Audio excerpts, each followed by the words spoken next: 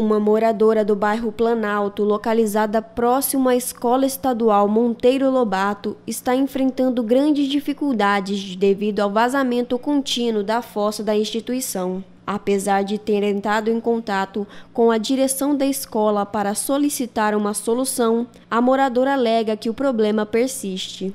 O mau cheiro e cheio de pernilongo que está muito insuportável aqui.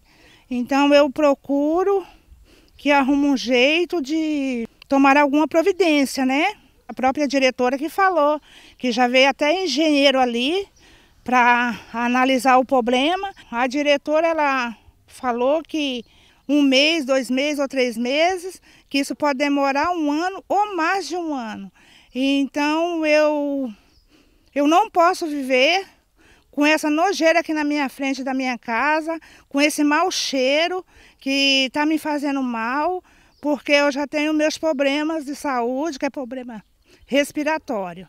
Segundo a moradora, após o contato com a direção, a escola Monteiro Lobato tomou medidas emergenciais, esvaziando a fossa e colocando areia no local onde os dejetos escorriam, a fim de conter o vazamento. No entanto, Josete relata que, passado apenas alguns dias de intervenção, o vazamento da fossa voltou a ocorrer. Está com oito dias e começou a vazar tudo de novo.